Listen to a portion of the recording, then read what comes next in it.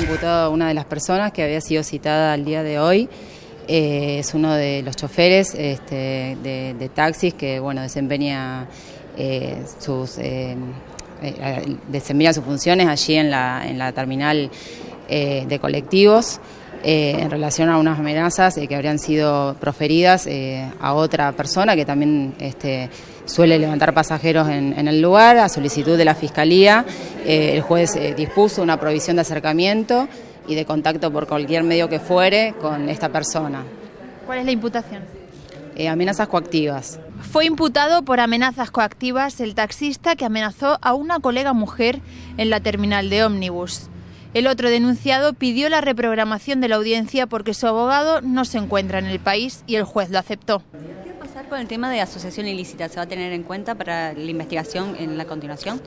Eh, sí, por supuesto, es eh, la Fiscalía también está investigando, es un delito mucho más complejo, pero este, se están colectando este, todas las, denuncias eh, que están efectuando personas este, que suelen ser amenazadas en este lugar cuando quieren desempeñar sus funciones. Por ahora, el imputado seguirá en libertad y si el ente de la movilidad no dispone lo contrario, podrá seguir trabajando como taxista. La verdad es que nosotros, además de las amenazas, eh, hemos iniciado una denuncia por asociación ilícita, que creemos que es el fondo de la cuestión, y creo que este tipo de causas y este tipo de imputaciones van a colaborar en ello. Cuando venía para acá, para la audiencia imputativa, volvimos a escuchar eh, con Fernanda el caso de otro taxista que el sábado nuevamente fue amenazado, incluso en presencia de agentes de, servicios públicos, para no eh, subir pasajeros en la terminal. Evidentemente, eh, no hay ningún tipo de medida que amedrente a este grupo de mafiosos y si no es la justicia, que es la última instancia a la que hemos llegado,